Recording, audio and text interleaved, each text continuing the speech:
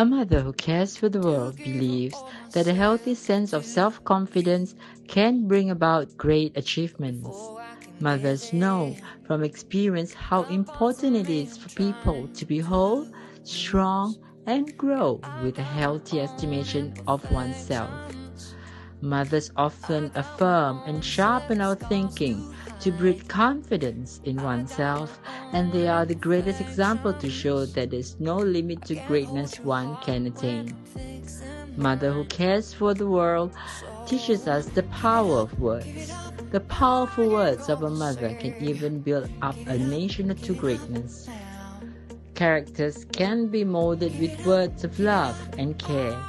A mother is also a force of strength and beauty like no other. As the saying goes, an ounce of mother is worth a pound of priest. Mothers who cares for the world teaches us to live out our legacy while they continually sow beautiful seeds of truth, wisdom, joy, and peace. A spiritual harvest that brings fruit in us and our children. From rocking the cradle Mothers have nurtured children who grow up to make life-changing and history-making accomplishments. To me, that's the true accomplishment of mothers who cares for the world. I got my own set of scars to hide